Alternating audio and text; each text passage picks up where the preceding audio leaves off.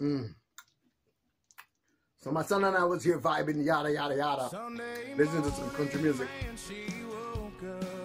And I said it's about time. Hmm.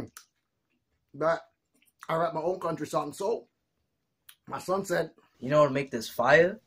If you put a drill beat on a country song. So I called up Staccs. Staccs Production said I need some fire drill drums. And Staccs said, Done and done. Then I called up Vic from V3 Music Productions. I said, Vic, I need your fire. And Vic said, Yeah, I'm on it.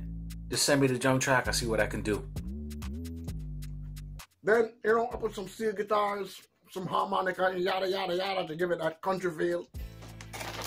So I get Chris Brady from Chris Brady Mix, and he said, Sure, no problem. But in the back of my mind, I said, hey, hmm, you know what it needs? Another little flavor. So I called up Steve, you know Steve, music director in Father Goose Band. Yeah, that's Steve. I said, Steve, I need you to put your flavor on there. And Steve said, Yep, I'm on it. So, after all of that, I said it's going to need a video.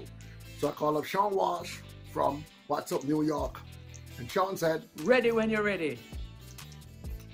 Then I know that I'm going to need, you know, the website, everything to set up, yada, yada, yada, you know, all that stuff. So I called Yusuf. And Yusuf, and Yusuf said, It can't be done.